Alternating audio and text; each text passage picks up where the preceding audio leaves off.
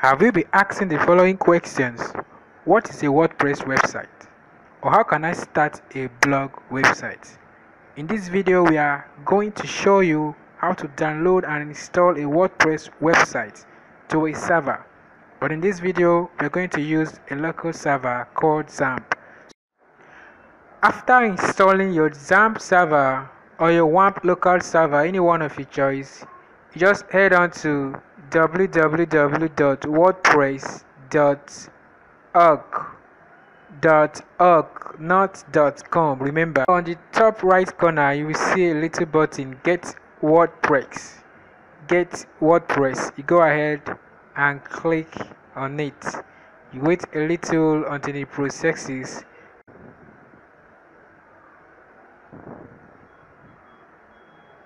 Alright so here we have the priceless and also free download WordPress and use it on your site. So you go ahead and click on what download WordPress 5.1.1 is the newest WordPress version as of when this video is recorded. So go ahead and click on download. So you see at the bottom left corner uh, my WordPress file is now downloading as you can see. Alright it has finished downloading. So we go ahead you right click on it and show click on show in folder. So you can see our WordPress file here. It's a zip file so you can see the zip WordPress 5.1.1 so we go ahead and double click on it to open the zip file. So here we have the WordPress folder. This is the folder containing our WordPress file so if you click on it you can see the WordPress files the PHP scripts the folders admin the content the includes. This our website. So if you know a lot about web designing you should know what is going on here. If you don't know go ahead and watch our tutorials on web designing. Should be able to know what is going on. Alright so we go ahead and copy this folder. You right click then you copy. Then we go to our XAMPP root directory. This is our XAMPP. Click on XAMPP then click on htdocs which is where we store our websites. Then we'll paste our WordPress file which we've copied over here as you can see the progression is pasting now. The WordPress website that we copy yet. So it has finished its installation. Alright so before you go ahead to install this you must first of all create a database with any name of your choice. But since you have WordPress here let's go ahead and use WordPress as the name of the database. So to do that you go back to your browser you must first of all start your XAMPP server. So we start the Apache and we start the MySQL. So you can see they've started. It's green, MySQL is green. So we minimize it, use our go to our browser and head on to localhost localhost slash php myadmin is here already so I click on it and allow it to finish. Okay so here I can go ahead and create a new database by clicking on new. Now you can see create database. So I'll go ahead and name my database WordPress so after that I'll create a, I'll click on create. So on the left hand side bottom side you can see that my WordPress database have been created. So now that I've created my WordPress database I can go ahead and run the installation script so that I can install my WordPress to my local server. So when I open another tab now click on localhost remember this is my host name.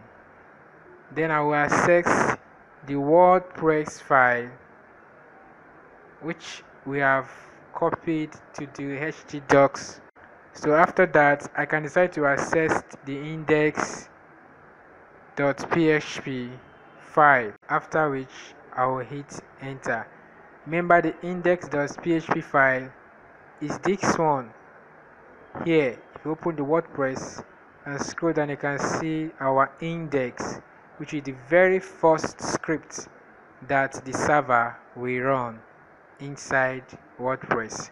And again if you don't know what is going on just go ahead and view our videos on web designing.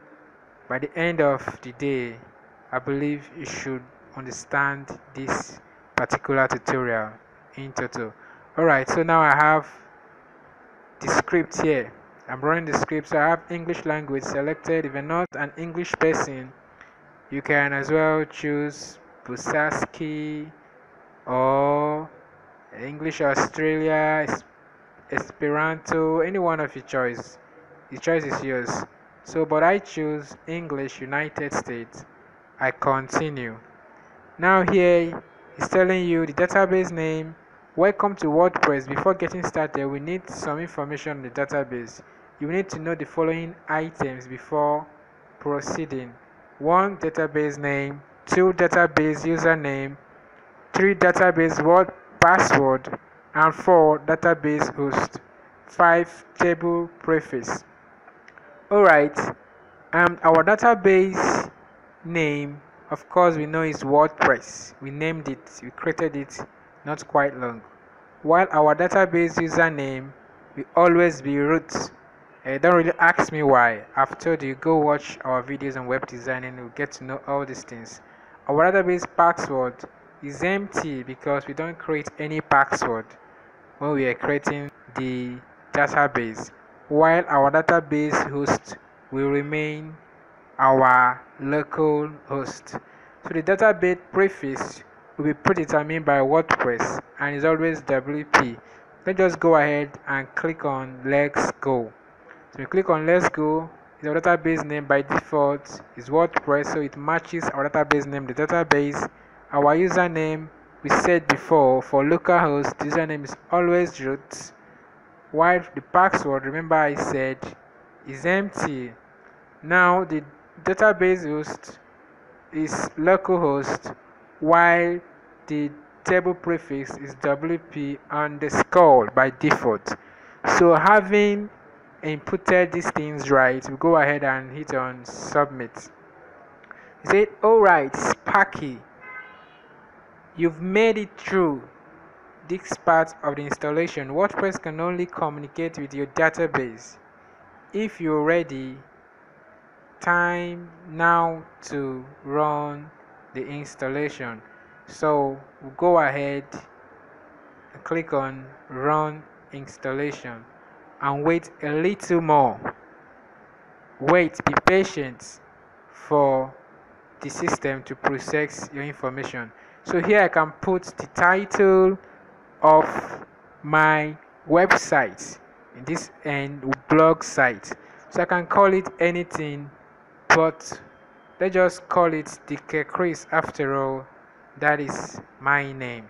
So I call it Dike Chris then the username I can call it anything. Maybe I call it DK it doesn't really matter whatever you call your username. But remember your username and your password you must remember to log into your admin end of the website so the password i want something simple. So i still use dk now it's giving me telling me that it's very weak. Because it's a practice i go ahead and what? Click on confirm use of weak password. Because i know that it's very weak.